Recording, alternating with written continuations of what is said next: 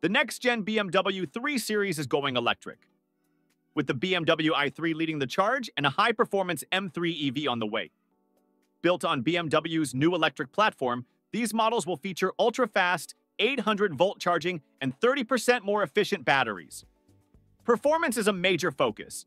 The i4 M50 already makes 536 horsepower, and a quad-motor M3 EV could push beyond 600 horsepower with extreme acceleration and precise handling. The i3 will compete with the Tesla Model 3 and Polestar 2, while the M3 EV takes on high-performance electric sedans. BMW faces challenges, including adapting the futuristic Neue Klasse design and convincing M3 fans to embrace electric power. The BMW i3 is expected in late 2025, starting around $50,000, with the M3 EV arriving in 2026 at over $90,000.